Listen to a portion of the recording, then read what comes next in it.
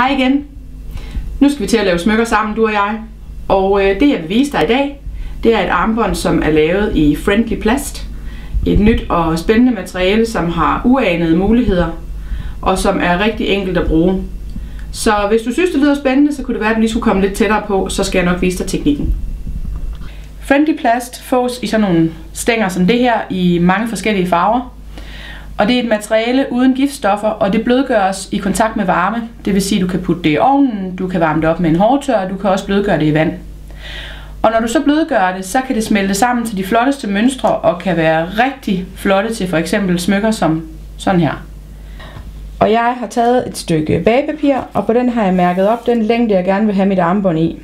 Og jeg har trukket 2 cm fra, som er længden på låsen, sådan så at den går fra. Og nu vil jeg klippe et stykke af mit friendly plast her. Den kan godt være lidt sejt at klippe i. Og derfor skal du også tænke sådan i store, enkle former, når du laver armbånd, øh, øreringe, broscher, hvad du nu laver. Det er ikke øh, de kæmpe detaljer, du kan lave, men det bliver til gengæld super flot, når det har været i ovnen. Nu måler jeg lige, den er lige en anelse for lang. Klipper lige af. Og de små stumper, jeg klipper af, gem dem endelig, fordi dem kan du bruge til alle mulige små ting bagefter. Sådan her. Så skal jeg have lavet mit hjerte. Det klipper jeg helt enkelt en firkant. Det er lidt nemmere at arbejde med et mindre stykke.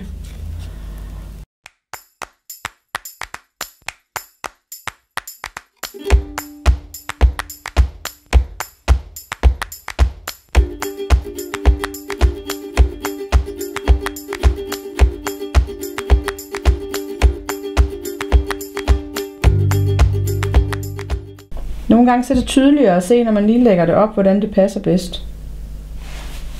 Så er armbåndet klar, og nu skal det i ovnen. Jeg har stillet ovnen på 90 grader, og der skal den have et sted mellem 5 og 7 minutter, måske lidt mindre, alt afhængig af, hvordan din ovn er.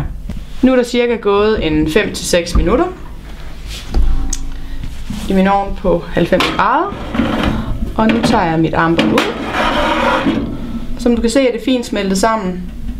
Det næste, jeg skal lave, det er, at jeg skal have lavet huller i hver sin ende af armbåndet, og når jeg har det, så skal jeg folde det, så det får den runde façon.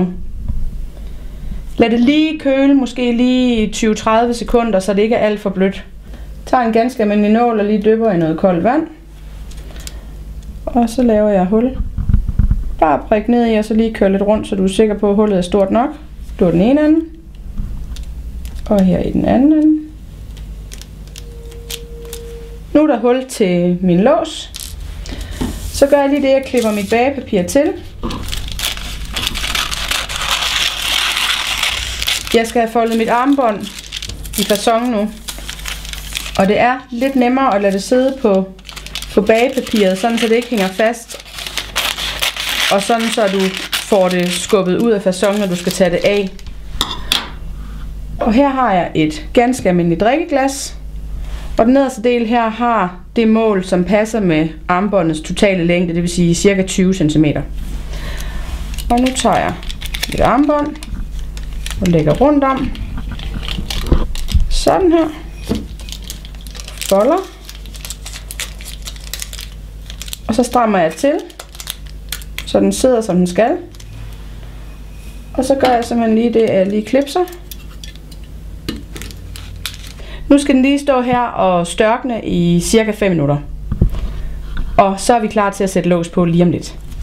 Nu skal jeg have lavet låsen på mit armbånd, og til det skal jeg bruge de her to øskner og en magnetlås som den her.